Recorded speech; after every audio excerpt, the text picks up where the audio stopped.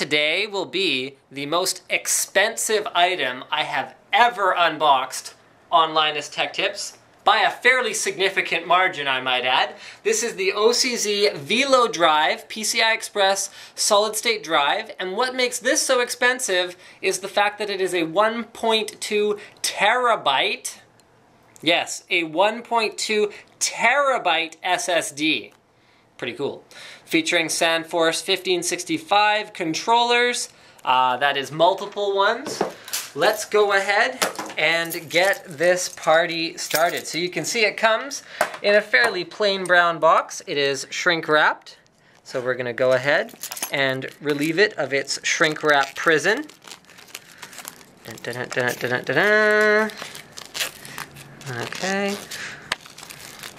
So this is more of an enterprise grade solution rather than being uh, consumer oriented. So no, the expectation from OCZ is not that average Joe is spending five grand on a 1.2 terabyte SSD for his gaming system, but there is a market for this stuff. So the product does exist. Let's go ahead and take off the cover. As you can imagine, they don't, you know, produce a ton of these, so there isn't like a special box just for the 1.2 terabyte SSD. Let's see what we got inside here. So first we have a low profile bracket, which also includes, what else is in here? Some thermal interface material, DIY, and a heatsink. All right, so we got a heatsink and a thermal pad. Oh, okay, so it looks like when you put on the low profile bracket, the heatsink is no longer attached, so you have to attach a, you have to attach a new one. There's actually ventilation back here, so this must be a pretty toasty card in an installed scenario.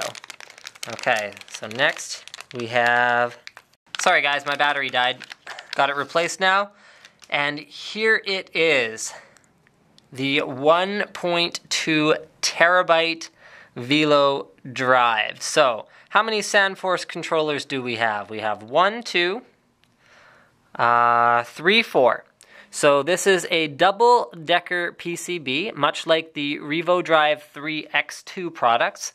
Uh, they are using Intel NAND. Okay, so we've got what is this, six, 12 chips per controller.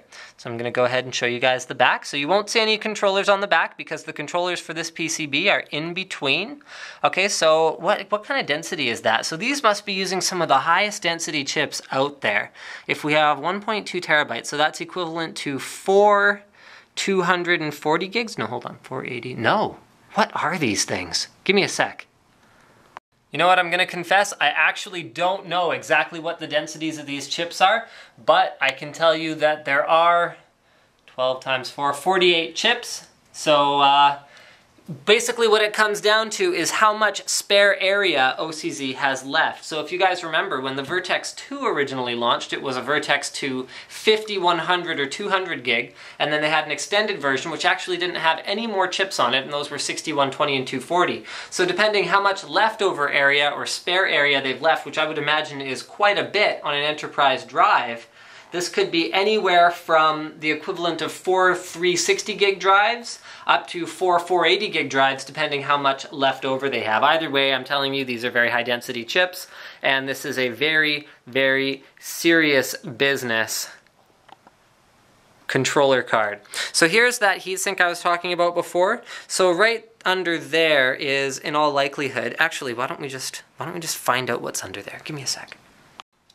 All right, so since this is obviously meant to be user swappable, we're going to take off that stock bracket. Go ahead and remove those screws. We got one more screw here that goes into that top PCB.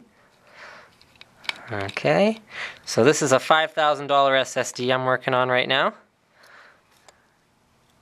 And we're going to find out exactly what chip that is. So that is an LSI chip. LSI SAS 2004. I don't know what controller that is. Okay, Fusion MPT.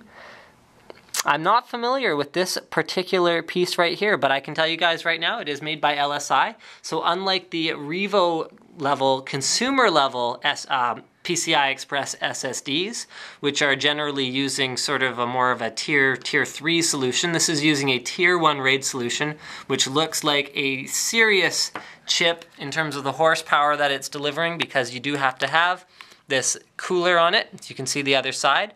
This one has the thermal interface material pre-applied, so that'll show you how you are intended to uh, assemble the low profile bracket should you require it. Uh, it has a PCI Express 8X interface. I don't know if I mentioned that before. So that's giving you a ton of bandwidth between the system and the SSD itself. And in terms of specs, they actually include almost no information with the product whatsoever. I guess the assumption is that if you're buying one of these, you already know everything there is to know about it, and you're fairly certain you need one. Because if you're buying a $5,000 SSD and you end up not needing it, I don't know too many retailers who are going to be like, yeah, sure, no problems, bring that back, full refund, no big deal. So uh, there you go. This is the OCZ Velodrive 1.2 terabyte PCIe 8X SSD. You saw it unboxed first here on Linus Tech Tips. Don't forget to subscribe.